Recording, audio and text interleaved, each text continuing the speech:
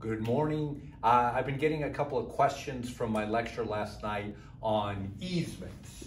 So I wanted to review a few things for some of you that uh, have some confusion about easements or you're studying for the state exam for this week. So first, let, let's define an easement. So an easement is the right to cross another's property, right? So very often, like here in the valley, you know, there's a house in the back and then a house in front. Sorry, very sloppy handwriting, but so for you to go across the driveway to get into their house, you may have an easement, the right to cross another's property. Also, uh, some wording that we need to clarify. You may see it defined as a non-possessory interest, non-possessory interest, meaning you have an interest in someone else's driveway, however, you don't own it. You have the right to cross that driveway. Okay, so we may say an easement is the right to cross another's property. Now, we need to clarify three types of easements that you need to know for the state exam. The first is an easement appurtenant. Whenever you see that word appurtenant, it means it goes with the house. It runs with the land for the benefit of the land. So if you own a house and you have a house behind it or a house next to it and you have to and someone's got to cross your driveway to, to, to get to their house, they probably have an easement. Now, you have one on your house, they have one on their house. Your easement says that you have to let them cross. Their easement says they have the right to cross. And since it's about land, it's attached to the land, we call that an easement appurtenant. The right to cross another's property to access your own. So that type of easement, we say it's real property, and when you sell the house or they sell their house, that right will go to the next person.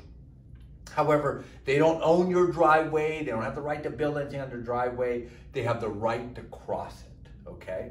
Um, the second type of easement I want you to know is easement in gross. That one is the right to cross, but not given to a, a, a property owner. It's given to an individual. Sometimes these are referred to as um, utility easements because the DWP or the gas company has the right to go in your backyard without having to ask you.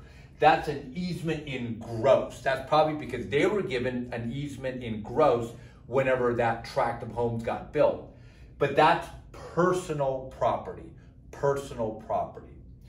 Um, and then the third easement I want you to know about is what if you don't have an easement, right? And you need it because your house is here and there's another house there. And the only way you can get to your house is crossing this guy's house. And for some reason, maybe you were accessing it from over here, another street, and now the city has maybe done away with that street. So the only way you can get to your house is by using this guy's driveway, but he's not letting you. You may be able to go to court and get what's called an easement by prescription. Now, there's some requirements to do this. Number one, you have to use that guy's driveway in what we say open and notorious use, meaning anyone could tell you're using it. Hostile to owner, I mean, you don't have to get in a fight, it's just they're saying don't and you're doing it, right? So hostile to owner. You have some claim, some reason why, why are you doing this? And you're doing this for five years, five years, you could go to court and try to get an easement by prescription. Okay, so let's review. Easement appurtenant, it goes with the house, it's real property, it runs with the land for the benefit of the land. Easement in gross, considered personal property, it, it's the right of an individual to cross your land easement by prescription, you go to court to try to get this easement because you don't have it originally, okay?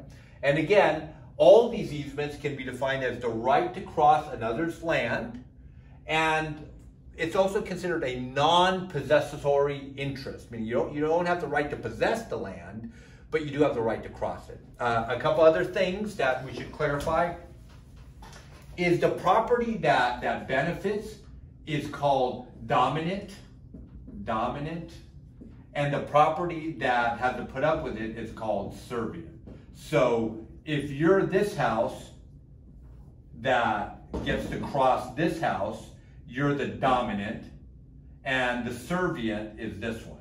So on the state exam, it might say that the property that is benefited from the easement is called dominant. I think I misspelled that. Dominant. Spell check me. But dominant is the property that benefits from that easement. The property that has to put up with it, the property that has to allow you to cross is the servient property. Okay, so let's recap. We have a easement appurtenant, real property. We have an easement in gross, personal property. We have an easement by prescription where you go to court to get. One more thing, uh, a license, like if I go, hey, come over, let's watch UFC fight night, and then I go, hey, get out of here, I can revoke a license, right? I can invite you over and I can revoke it. But an easement, once you have one of these, it's not revocable. It's a right that's not revocable. And dominant tenement or servient tenement, the dominant is the one that benefits from, from the right to cross. The servient is the one that has to allow. Okay, I hope this cleared it up and uh, I'll see you in class.